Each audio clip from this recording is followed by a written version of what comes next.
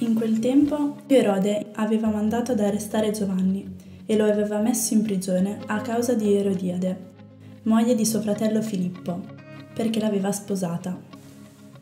Giovanni infatti diceva a Erode, non ti è lecito tenere con te la moglie di tuo fratello. Per questo Erodiade lo odiava e voleva farlo uccidere, ma non poteva, perché Erode temeva Giovanni, sapendolo uomo giusto e santo, e vigilava su di lui. Nell'ascoltarlo restava molto perplesso, tuttavia lo ascoltava volentieri. Venne però il giorno propizio, quando Erode, per il suo compleanno, fece un banchetto per i più alti funzionari della sua corte, gli ufficiali dell'esercito e i notabili della Galilea. Entrata la figlia della stessa Erodiade, danzò e piacque a Erode e ai commensali. Allora il re disse alla fanciulla, Chiedimi quello che vuoi e io te lo darò.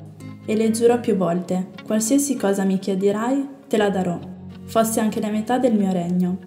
Ella uscì e disse alla madre, Cosa devo chiedere? Quella rispose, la testa di Giovanni il Battista. E subito, entrata di corsa dal re, fece la richiesta dicendo, Voglio che tu mi dia adesso, su un vassoio, la testa di Giovanni Battista. Il re, fattosi molto triste, a motivo del giuramento e dei commensali, non volle opporle un rifiuto. E subito il re mandò una guardia e ordinò che gli fosse portata la testa di Giovanni. La guardia andò, lo decapitò in prigione e ne portò la testa su un vassoio. La diede alla fanciulla e la fanciulla la diede a sua madre. I discepoli di Giovanni, saputo il fatto, vennero, ne presero il cadavere e lo posero in un sepolcro.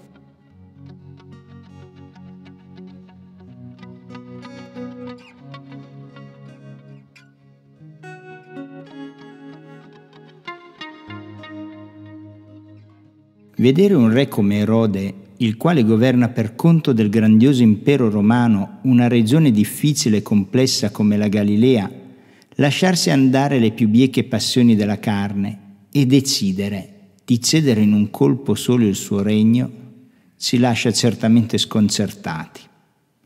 Ma se facciamo un salto di duemila anni e guardiamo i nostri giorni, vediamo come anche tanti nostri governanti in un recente passato han ceduto volentieri alla tentazione della lussuria, combinando guai a catena, mietendo anche vittime innocenti. La storia si ripete e il gioco della seduzione colpisce in ogni tempo. Inoltre il peccato della lussuria non arriva mai solo, ma si accompagna spesso a quello dell'ira e della violenza. Ricordate Davide, il santo re Davide, alla vista di Bezzabea chiude in prigione ragione e fede, si lascia trascinare dai vortici della passione e macchina piani e menzogne per dar corpo agli sconvolgimenti dell'istinto ormai senza freno. Morirà Uria, marito di Bezzabea, ucciso dalla malizia di Davide. E morirà il bambino nato dalla passione, perché ogni pensiero e ogni azione che non siano ispirate da Dio attraverso la ragione illuminata dalla fede sono senza frutto. A questo punto però Erode si trova in buona compagnia, ma questo ovviamente non lo giustifica. Quello che ha combinato è tanto banale quanto grave. Banale perché perdere la testa per una ragazzina, la quale senza colpo ferire lo conquista e lo sottomette grave perché associa a queste perdite di lume un crimine orrendo, la decapitazione di Giovanni. Ma perché Erode arriva a questo?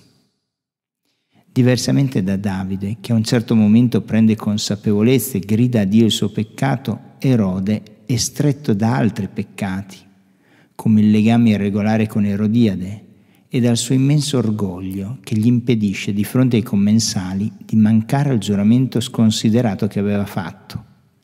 Ecco, vedete, i peccati non arrivano mai da soli. Come una rete ci cingono e non abbiamo via di scampo.